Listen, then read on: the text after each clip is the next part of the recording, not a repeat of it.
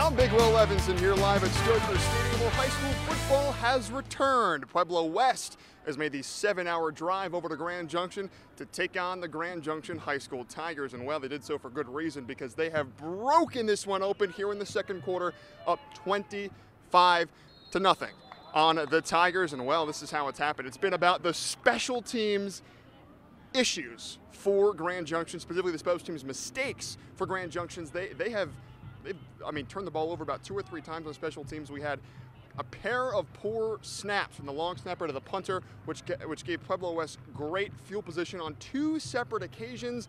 On their third touchdown, they started right here at the 10 yard line and then were forced into a pair of fourth downs and converted them both, including the second for a touchdown right in front of us. And that made it 18 0. And then following the, on the ensuing kickoff, Grand Junction fumbled that kickoff, giving Pueblo West again great field position right here, and they wasted little time as now Will Applegate, or rather we've got a quarterback change it seems for Grand Junction, so we'll get that for you later coming up at 9 and again at 10. But again, score 25 to nothing. And for Grand Junction, it's got you got to limit the turnovers. You got to limit the mistakes on special teams because that has been the difference in this one. Meanwhile, for this Pueblo West team, I mean, they, when they have had their opportunities, they have taken advantage. And their quarterback has been racking up the stats, got himself now two rushing touchdowns and two passing touchdowns as the Cyclones have scored three total touchdowns in this one. They obviously they lost three points and extra points because they missed an extra point, did not get two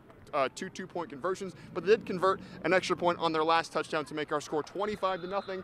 As Grand Junction, I mean, they really haven't had the ball a lot. In their first drive, they were able to move the ball a little bit, got some yards, but were forced to punt.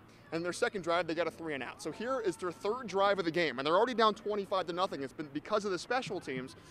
And the key here is going to be I mean, you, you got to be able to throw the football. I mean, the, the, running game has not really been working. The offensive line has not been giving Will Applegate enough time either. So it's been a struggle thus far, but we're still here in the second quarter, still plenty of time in this one, and you got to be able to establish the run while you can because soon you won't be able to because you're going to be chasing the clock. So now down 25 to nothing here in the second quarter.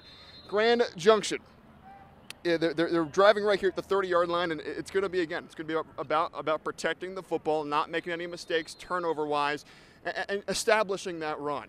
And, and, Will Applegate, can you say enough about the kid? I mean, he I mean he came out here as starting quarterback, second year as a starter, bulldozed a defender early on the first drive, and he plays every snap defensively as well at linebacker. And he also made a great tackle right in front of us, getting the running back down. It's just a great power as well. His size is going to be key for this team to run through and they're, they're going to need it, the, this Grand Junction Tigers team here in the second half. And look, Coach, I, am available if you want to put me in.